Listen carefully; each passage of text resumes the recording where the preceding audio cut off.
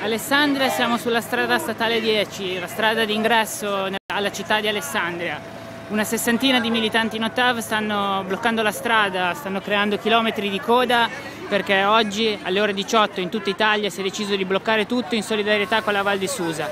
Questa è la risposta che stiamo dando. Chi pensa che usando i manganelli, chi pensa che con la militarizzazione della valle potranno un giorno riuscire a costruire la TAV, evidentemente ha fatto male i propri conti.